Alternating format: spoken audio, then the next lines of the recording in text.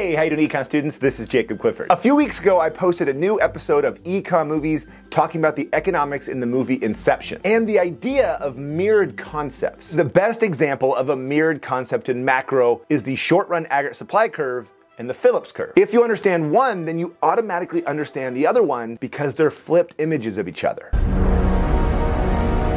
But this idea doesn't just apply to graphs, there's also mirrored equations. They're not the same concepts, but they're mirrored. Let's start with five mirrored equations you're gonna see in your macro class. The most important one you're gonna see is the spending multiplier and the money multiplier. In unit three, you learn about the spending multiplier and the idea that initial change in spending becomes more spending as it becomes somebody else's income. They say some of it, spend the rest, that becomes somebody else's income, and that keeps going and going. The equation is 1 over the marginal propensity to save. In Unit 4, you learn about the money multiplier and the idea that banks hold a portion in reserve, loan the rest of that money out, that goes to another bank, it holds some in reserve, lends that money out, and that's how banks make money. That equation is 1 over the reserve requirement. Now, these are two completely different concepts, but the equations are very similar. They're 1 over how much you save. And you're gonna use these a lot. Your teacher is gonna give you initial change in spending or initial change in the money supply, and you have to use these different types of multipliers. Another set of mirrored concepts you're gonna see is the CPI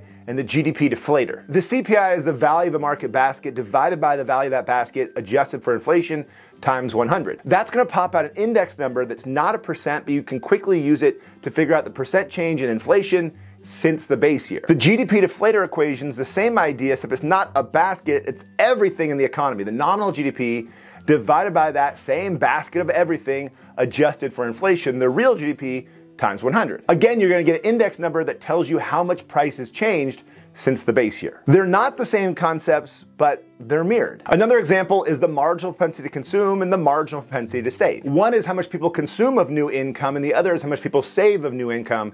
And remember, they always add up to one. So if you spend 0.8 or 80% of new income, that means you must be saving 0.2 or 20%, and it all adds up to 1 or 100%. And the last one is not really an equation, but it's the idea of output questions and input questions when you're doing comparative advantage. In my hacks video, I gave you some tricks of OOO and IOU to figure out who has a comparative advantage, but you can remember if you're looking at an input question and all you know how to do is an output question, the answers for the input question on who has a comparative advantage will be the exact opposite.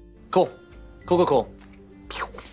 Okay, let's talk about mirrored concepts for microeconomics. First up is the idea of calculating marginal. You're gonna see it a lot. Marginal revenue, marginal utility, marginal cost, marginal product, marginals all over the place in a microeconomics class. The equation is identical for all of them. It's the change in total divided by the change in quantity. Now, in most cases, the change in quantity is just gonna be one, from 11 to 12 units. So it's really just the change in the total. Another example of mirrored equations are the four different types of elasticity. Elasticity of demand, supply, supply, cross price, and income. They're all basically the same equation. It's the percent change in quantity divided by the percent change in price. For demand and supply, that percent change in price is the product you're actually looking at. For cross price, it's the price of a different product.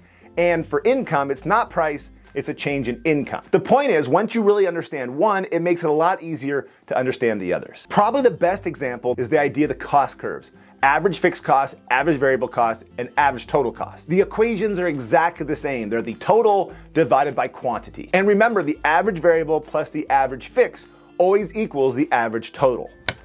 That was easy. Now there's another set of mirrored concepts. One is in unit one, the other one's all the way in unit five. It's the utility maximizing rule and the least cost rule. For utility maximizing, you calculate the margin utility per dollar spent on some good, compare it to the margin utility per dollar spent for some other good, and you keep buying until you run out of money. You're trying to find the right combination of two different goods that maximizes your utility. The least cost rule is the same idea, except you're looking at the productivity of two different resources. You end up with the right combination of workers and capital produce the most stuff at the lowest cost. That's why it's called the least cost rule. Again, two different concepts, but the equations are similar, they're mirrored. Okay, the last one for microeconomics is the most important because you're gonna use it the most, the profit maximizing rule. You always produce when the MR equals the MC, but that same idea applies in different units. For example, in unit five, you always hire workers where the marginal revenue product equals the marginal resource cost. And in Unit 6, the government should always produce a park where the marginal social benefit equals the marginal social cost. Again, these aren't really equations, but they're ideas that you're gonna see over and over again and they're mirrored. Okay, that was it. If you need help practicing all these different equations, make sure to take a look at the ultimate review packet. In there is an ultimate cheat sheet that has all the equations and all the graphs that you need to know. If you like this video, please leave a comment and be sure to subscribe. Till next time.